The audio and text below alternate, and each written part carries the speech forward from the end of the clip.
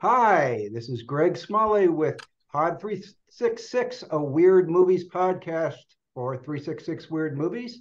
And I'm joined here, as I was before, by Giles Edwards, my co host. Say hello, Giles. Hello. And today we have a special guest, Joe Badon. hello, hello. French pronunciation. The uh, director and artist, uh, director of two feature films, uh, The God in My Ear and uh, Sister Tempest, and Yeah, yeah. also an artist who has incidentally designed our logo that we use on the website. So, Yep, yep. I am honored to be here. Love you guys. big friend, big supporter. Yes, yeah, Giles. Nice to see you. We we met uh, in uh, Fantasia Fest. Yeah, I, yeah. I remember we uh, crashed into each other. Yeah. I think made vague plans to do so again, and then uh, time went away. Oh yeah, like I was there one day. Yeah, that's yeah. yeah. My short film Blood of the Dinosaurs was playing there, like literally one day, and I was just like glad I got to run into you. Oh, thank you. Likewise. We're going to talk about uh, Blood of the Dinosaurs and the uh, Wheel of Time uh, at the end, hopefully. Sure. We want to do what we always do, which is run down the uh, news of the week. And last week, I started the uh, conversation by saying January, nothing's going on. Everybody's Hmm. waiting for Sundance. And then guess what happens? We get hit with a ton of uh, movie news this week that we would like to talk about. So we're going to go through it pretty quickly. Oh, they Um, heard you throw down the gauntlet there, so they wanted to show you who was boss. yeah. Well, first, I guess uh, since it's, uh, I don't know if you guys have any thoughts on this, um, but Francis Ford Coppola at 83 is making a movie, spending uh, 120 million dollars of his own money. He's like sold his wi- mortgaged his winery to to finance it. It's a some kind of science fiction utopian movie about uh, New York. There aren't many details on the plot, but apparently it is in huge trouble, and he has like fired half the art team uh, as they're in the middle of a 90 day shoot, Oh and I think the rest of them resigned. And this isn't that unusual for him because you know this sort of happened on Apocalypse Now. Uh, but do you guys have any thought on that? We don't know if it's going to be a weird movie. It sounds like it might be, though. I'm it's discouraging that as a director, me as a director, with never getting gaining access to money, thinking that Francis Ford Coppola can't find funding. I should just give up now. Oh, yeah. well, you know how to do it cheap. No, you got to stake your claim with a snappy Vietnam story, Joe, and then then you can sit back and watch the awards pour in. Yeah, yeah, exactly. um, yeah, I read uh, you sent an article, Greg, and I, I read that and I was like, oh, okay. So I don't know. It seems to be a habit with him, but also he seems to have landed on his feet each time. So my guess is, presuming good health, he'll he'll get through this and have his movie, and then have the really compelling documentary as well. Yeah, Yeah, the, the sure. documentary might be uh, more. It might be a uh, you know uh, Terry Gilliam Don Quixote thing. yeah, Yeah, if anything, it just creates more buzz for the film. yeah. That's true. Uh, and the next big news, I think, is that a screener dropped, uh, or trailer dropped that had the internet buzzing because it's for Ari Aster's new film. And I can't share screeners here, but they will be on the website. I can share screeners, but they're just so choppy that you can't uh, pay any attention to them. It'll be on the website. Um, but can you guys see the picture? Oh, the Beau is afraid. Yeah, yeah, I'm sure. Yeah, I just watched the trailer. of That Yeah, I Um, my my editor sent me that trailer, and I still haven't watched it yet. But I heard, I mean, I, I've heard good news about it, good buzz about it. But yeah, I still haven't watched anything for it. Yeah, yeah, I'm intrigued because uh, I will admit I haven't seen Hereditary yet, but I've seen Midsommar, and Beau is Afraid seems to be peopled entirely by interesting characters, whereas Midsommar had no interesting characters. So I think that's going to be a nice uh, change up, at least for my perspective. Hereditary had a better better character. Ah. Uh, was more character driven. Yeah, I agree with you on that. Midsommar, the characters were strange. They, I just didn't feel for any of them. Yeah. Yeah. And also with the trailer, anything that uses uh, one of Supertramp's best song as the uh, menacing theme, "Goodbye Stranger," well, that's uh, a promising sign Goodbye, in my book. stranger. It's been It's nice. I was going to mention that the uh, he, he uses that really well. The other thing is that this uh, movie appears to be uh, a comedy for uh, most part. Yeah. It's unusual for him. Yeah, just Um, looking at the stills, it definitely looks like a different vibe for him. Yeah. So let's see. The next one, and maybe I can share the picture for this, is that I wanted to talk about is uh, a haunted Turkish bathhouse, which That is uh, incredible. I am so excited about that film. I watched the trailer like three times last Oh, night. I was going to say, did you see? Uh, what I saw was a clip rather than a trailer. But Oh yeah, I saw the what is it at uh Mondo? Mondo Oh. Macabro. Yeah, their their their trailer for it. It was really really wonderful. Uh, they do amazing work, uh, Mondo Macabro. Um, they find a bunch of stuff that uh, is just totally forgotten from around the world. Um, the uh, description to this one reads The film is a bizarre mixture of Japanese erotica, erotica gangster film, and ghost cat, ghost cat horror movie, which is a subgenre of Japanese horror movie. All popular genres in the 60s and 70s. It's a heady cocktail makes for an entertaining and unpredictable film that rocks along at a giddy pace. And so- Ghost Cat. I mean, you had me a Ghost Cat, right? I Yeah. mean, that's all you really need to say. I see it as Yakuza, Ghost Revenge, Cat, Softcore. Softcore. Yeah. So um, that Yeah. one should be pretty wild, as you guys can probably tell by the still. It's got, you know, very theatrical look. Um, so then on to movies that are in theaters. Uh, there's four small new releases this week. Uh, all all limited, probably not at theaters near you, but all of at least some interest to us. Uh, the first one, which I just put up on the screen, can you see that one? hmm Beautiful Beings. It's an Icelandic uh, movie. It's from Altered Innocence, who are um, technically supposed to be uh, LGBTQ uh, uh, based producers, but Yeah, almost everything they interesting stuff. yeah, almost everything they release is weird or surreal, and sometimes the LGBTQ uh, connection is very, very slender. Yeah. Um, but the the synopsis for this one reads: Adi, a boy raised by a clairvoyant mother, decides to adopt a bullied misfit into his gang of outsiders. Left to their own devices, the boys explore aggression and violence, but also learn about loyalty and love. As the group's behavior escalates towards life threatening situations, Adi begins to experience a series of dreamlike visions. Can his newfound intuition guide him and his friends back to a safer path, or will they dive irrevocably into future violence? I will say I'm going to actually watch this one tonight. I have a screener for it, so I'll be able to report pretty soon. But it's you know two hours. Looks like it's going to be slow paced. Uh, Mm. Cinematography probably based uh, movie. Icelandic cinema is kind of having a moment, I guess, right now with uh, Lamb. Mhm. Uh, Ah. I believe some other movies have been shot utilizing the taking advantage of the landscape there. Did, did you guys have any thoughts on this one in particular?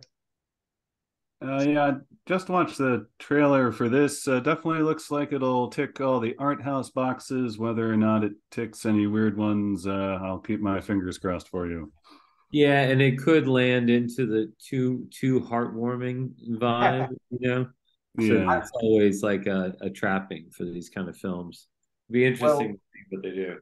We shall see. There's a lot of talk of violence and a lot of talk of uh, uh, dreamlike imagery. So we're going to see for that one. But we'll go on. Let's move on to the next next one. Okay. This Mhm. does not have a poster. Uh, it's called Jethica, which is obviously a mispronunciation of Jessica. It's uh, an indie, and let me read you the description. Hiding out in New Mexico after a freak accident, Elena runs into, into Jessica, an old friend from high school. When Jessica's stalker suddenly shows up at their door, they must seek help from beyond the grave to get rid of him for good.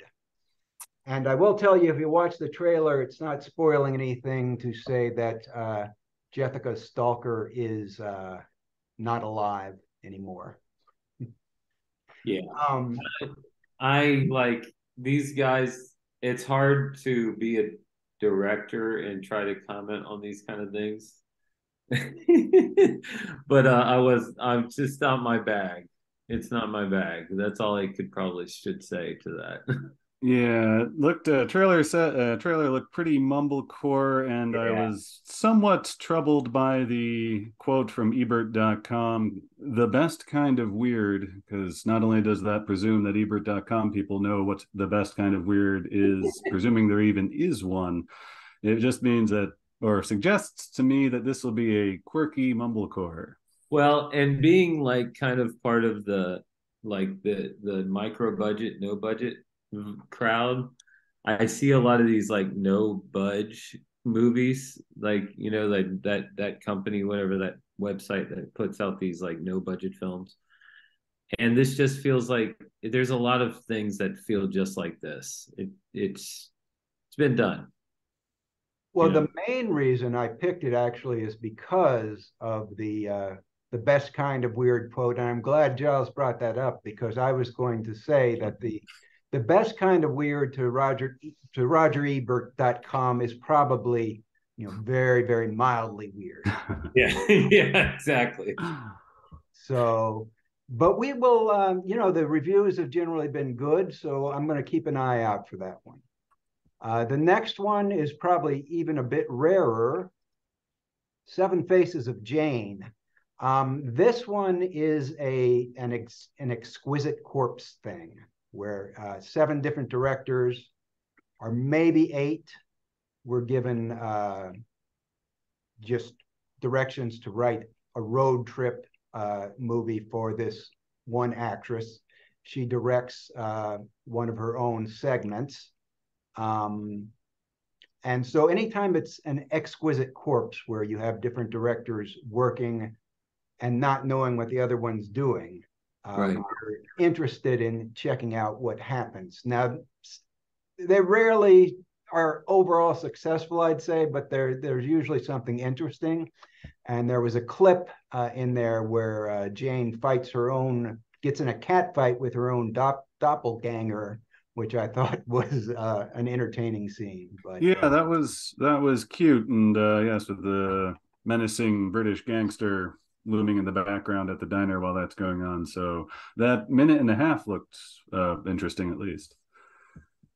Yeah, I don't know that actress. Like, I'm always like interested if she ever, ever in something because like, like I'm mildly entertained when when I see her. So I'm like, you know, I might just check it out. Just if it's like on Netflix or something, I might be like, all right, yeah, I'll check it out.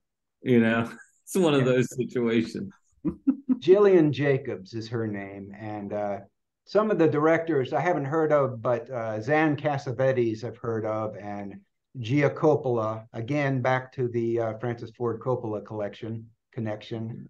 Uh, his granddaughter directed a segment. Would you ever direct a uh, an exquisite corpse type uh, experiment, Joe? If people give me enough money, I'll do almost anything. So, there you Does go. the form does the format interest you? Yeah, absolutely. Totally. Um, but I'm so, I feel like I would troll if they would give me enough like creative control, I would probably just troll the whole situation. You know, like make it completely just like one shot of just somebody sit like sitting on a chair and not doing it. just something that would just fuck the whole movie. Just it's just like 90s like uh it, it you know me being a um generation x it's like a whole generation of trolls so it's just something we have in our blood so yeah where that all started. i'm sorry what I said I was wondering where that all started. yes Started with Generation X. So we are going through these in timely uh, fashion, which I'm happy about. I was afraid we were going to run out of a little bit of time to talk to Joe at the end, but uh, there's one more coming up. This is Skinamarink, which uh, if you've seen the trailer, I'm I'm from what I've been reading, the whole movie is is pretty much like this. Oh wow! It's just two kids in an empty house. Their parents have disappeared, and there's spooky noises and talk for like 90 minutes, and it's just all atmosphere. Um, almost no plot, it sounds like, but uh, people seem to be really digging the vibe. It's a uh, obviously it's going to be a super low budget uh, movie. IFC Midnight's putting it out. Uh, for some reason, I thought it was going to be on Shudder, but uh, maybe not. Uh, did you guys happen to catch the trailer for this one? Yeah, uh, and I thought it said it toward the beginning or printed on the screen, Shudder, but uh, with you saying that, I can't be too sure. I like the atmosphere. I like the the trailer was rather interesting in that there was only one line, almost only one line spoken over the you know uh, blurry and moody imagery. So uh, I, I could see this possibly being very quietly upsetting with a sort of long lingering effects on the viewer afterwards. But um, yeah, I I I've talked to the director a couple times, like on Instagram or whatever. Really, I'm super nice, you know, super cool, and the the film itself honestly looks like that's what I'm talking about. Like that's the kind of like future of film that I'm talking about. Like being like that's just ballsy shit, whatever that is. Even if it's even if it's terrible, it's fucking ballsy shit. I have no idea how it's gonna be. You know what I mean? Like but hats off to him for doing something completely different. I I want to see it just for that. I have no idea how it's going to be, but I love that that it's just dismantling movies like that and doing something totally different that might everyone might hate. That's mm-hmm. that's fantastic seems seems like the critics are really got a good, very good review in Variety, so people are liking it. But Joe, it's almost the opposite of what you do because it's it's super minimalist, where you try yeah. you're maximalist.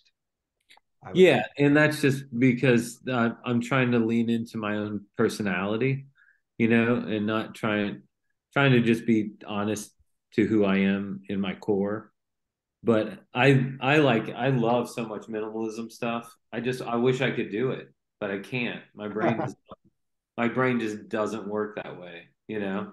So when I see something like that, I'm just like fascinated. Like Skinamarink, yeah, I'm fascinated by it. Like just to have the ability to think minimally like that is amazing. And to keep an audience's attention.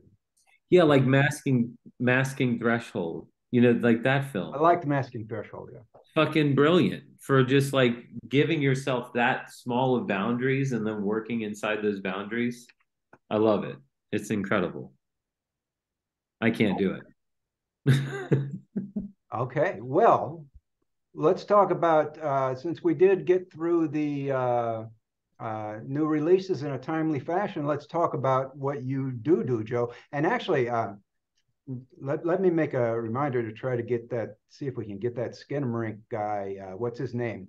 We're trying to get him on as a guest. You should. He's super cool. I don't remember his name. Oh, yeah. we'll, we'll, find that, him on Instagram. I think IMDb works though.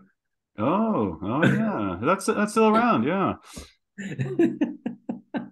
but but let's talk about what you do do, Joe. Um, first, your mm-hmm. latest I want to talk about what, what you're up to now, but your latest two projects were uh, Blood of the Dinosaurs yeah. and The Wheel of Time. Wheel of Heaven. They we that I'm sorry, did I mispronounce it? A Wheel of Heaven.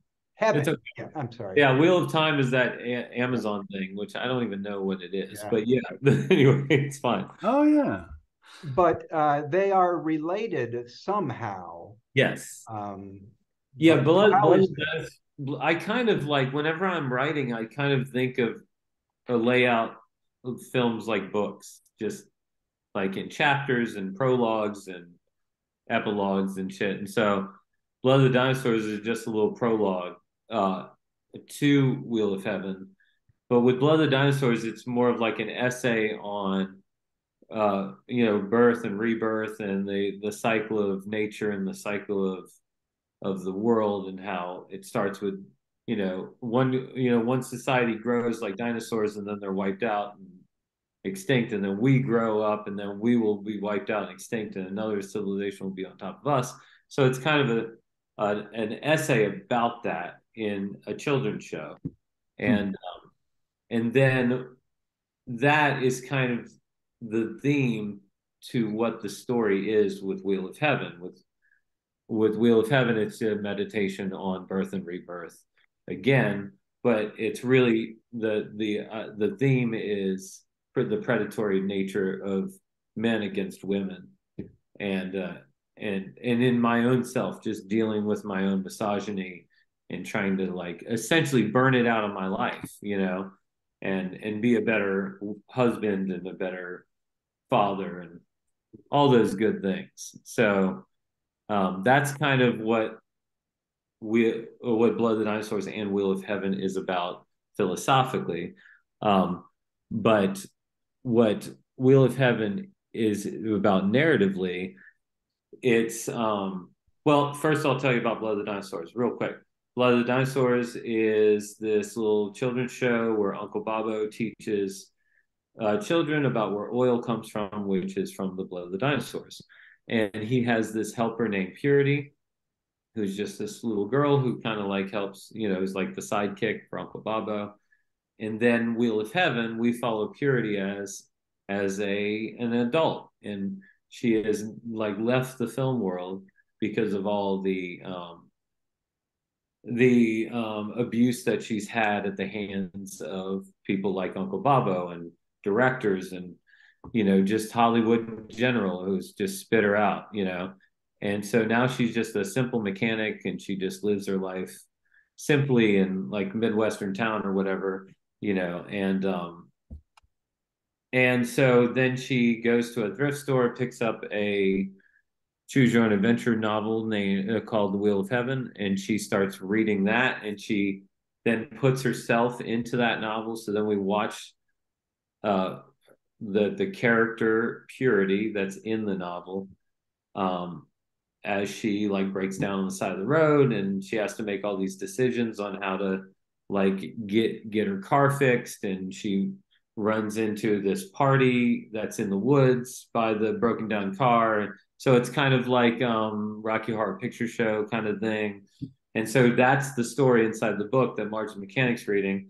And then we're also watching a a spaceship UFO uh, spy on everything that's happening, and that's also played by the same actress, uh, and that's Captain Corn in her spaceship as she tries to find the center of the universe. So all that's happening at the same time uh, Margaret, the artist, who's this autistic artist, is is telling the story of all these things that she just created. It's just art pieces that she's just kind of telling the audience about.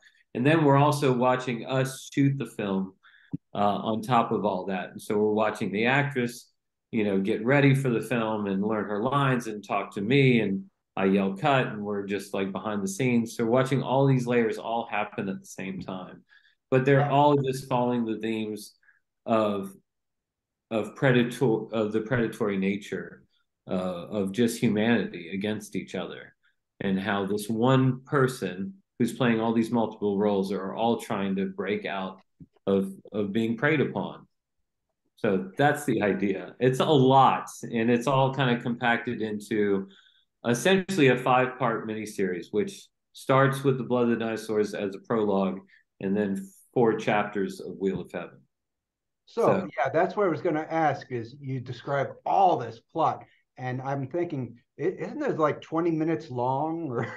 No, well, every episode's about 20 minutes long, and so it ends up being about 100 minutes total. Is so, that including Blood of the Dinosaurs? Correct. Yes.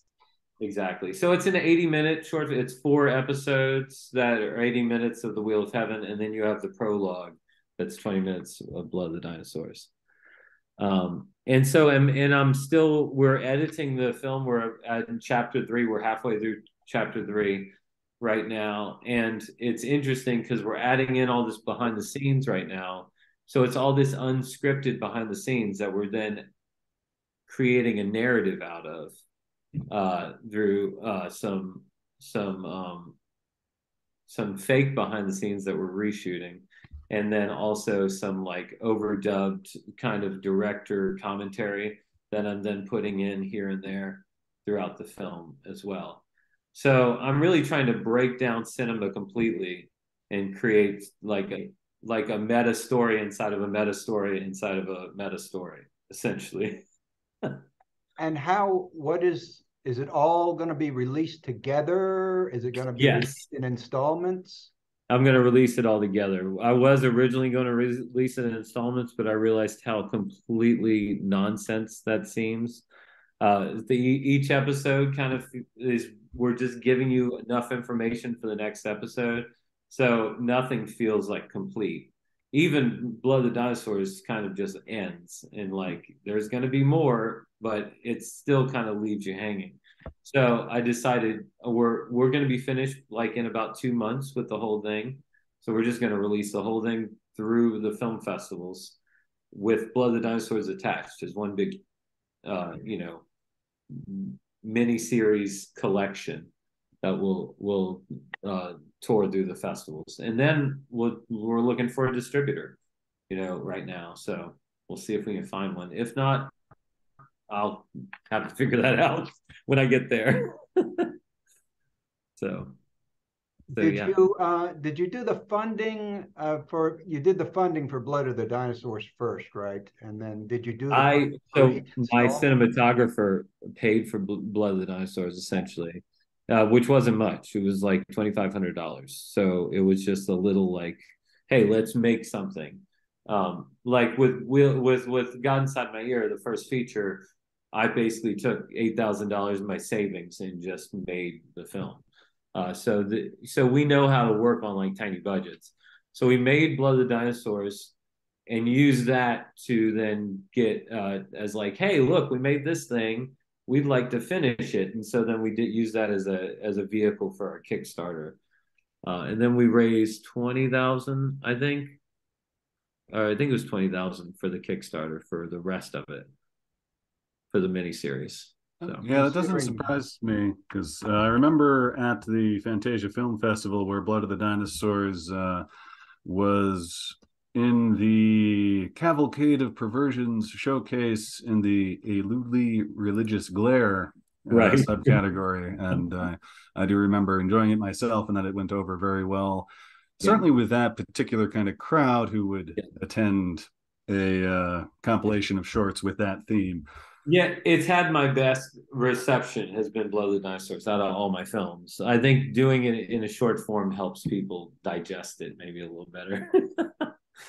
so well then when it's uh it's it's even though you're terming it a mini series, if it's released all at once and watched right. all at once, it's essentially going to be a feature that Yes. Yeah, I'm actually considering releasing it when I release it through the festivals uh, just getting my i mean i have a lot of filmmaker friends that have made like silly little commercials and stuff. So i might actually like intercut every episode with a couple of just silly commercials and then kind of cut back to create because it, it, in the when you watch it we do cut to commercials through throughout the episodes. And we it is kind of a show within a fake tv channel and so we've already kind of created that atmosphere. So it wouldn't be hard to kind of just make it into like a fake mini series within a fake cable channel that you're watching, uh, which I'm already thinking about doing. So because we have we do have a, um, a clip that we shared. Uh, yeah. Yeah, I have one or two. I have two clips on my YouTube page that, uh, including the trailer for the film but I have a clip for chapter one and a clip for chapter 2 we're, we're every time we finish editing a, a, chapter, we're releasing a clip from that chapter. So the clip I'm thinking of uh, involves like a UFO cult type. Uh, yes, yeah, that's a fake, yeah, it's a fake. It's a commercial for a fake cult called the uh, I can't even remember. Cosmic Hour of Healing Power is the name of the show. And so we actually are pitching that as a TV series to some channels right now. So we're going to see if we can make that into a regular TV series, which would be a lot of fun. Yeah. So that's good. And so you're just you're almost you're almost still uh, writing it as you're editing the footage you have, huh? Yeah, with the behind the scenes that we're edit we're in we're incorporating into the film, we're kind of like changing the narrative here and there slightly, which is interesting to keep we've basically continued writing the film even through production uh, as almost like jazz writing, you know, or improv writing. Or the development of epics over the years as they're told over and over again with the nuance, or yeah, if you want to get even more religious, the various commentaries on the Talmud that go three, four, five, six deep. Yes, totally. And it's interesting because it makes the story feel more natural if you're continually like fixing it throughout. And I've no and I've noticed now watching like stuff like Paul Thomas Anderson and shit. Like you can tell he is like tweaking every time he gets on set because it feels like jazz, you know, and that's just wonderful. I love that. So. And so, what's um, I guess that's do you have a, a plan for something after uh, the Wheel of Heaven or? I do. I have two uh, feature films that I'm pitching right now. Uh, one that I've finished the script for. It's 300 pages right now, so I have to slice a bunch. But it is basically like an action holiday film that kind of mixes like Hallmark movies with psychedelic action films and kind of putting those together. Uh, the title alone will blow your mind, but I'm just I, everything's kind of under lock and key. But and then the other film is like a nunsploitation that that would be done on stage uh, will be filmed live, but then also filmed cinematically and then intercut together. So those are the two uh, features that I'm I'm working on right now. But but but really concentrating on finishing Wheel of Heaven because I want to get that baby out. I'm very excited about it. So would you ever consider writing a script for someone else to direct, or or when you write it, do you have to have complete control over it? Um, it's really just a matter of money. Like if people somebody wants to pay me enough, fucking yes. If not, I I do a really I have a really comfortable job basically selling my art, my original artwork on the side of the street uh, in New Orleans. It's very stupid, but I I make I make decent money at it, and it's very easy. So that doesn't sound stupid then. Yeah, exactly. So like, yeah, I will do any of that shit for if people pay me enough. Absolutely. Let me see. What's this? Uh, a surprise. Oh yeah, that's one of my pieces right there. That's uh, mm. a lot of I grabbed something off the uh, off your Facebook page to yeah illustrate uh, because uh, I don't know how you have so much time to do all this and direct uh, and paint. Yeah, it's I think too. it's an overactive brain. It's definitely mental problems. Yeah, I'm guessing about four hours of sleep a night for you. For you, it's not it's not much half the time. Uh, but yeah, I'm trying to learn how to pace myself because I definitely like overdo and like create chaos all in my life. So kind of like that painting right there. So. I think the painting works very well. It's a collage style, and that you know, a painting you can you can go your own way. You can look over to the right at the pyramids. You can look to the upper right, you know. Yeah. So and that's kind of what I'm trying to do in my film work. Like this is kind of what I'm trying to capture, like a montage collage of many styles and ideas that could all kind of work together, but loosely work together, you know. So okay. Well, um, what's your uh, where can people where do you recommend people go to find what's going with? Oh, well, I have my movie production site. It's cosmicfamilyfilms.com. I also have my own film site, joebadon.com. Uh, and then you can also check out my artwork, uh, joebadon.blogspot.com. Still have that for my my art blog. But you know, if you if you search for me on Facebook or Instagram, Joe I'm there, and like I update my shit at those two places more than anything. So don't suppose uh, you have a Twitter account? I do, I do have a Twitter account as well. I think you just search Joe Badon, but it's really funny because people in Twitter, people are always mistyping my name for Joe Biden.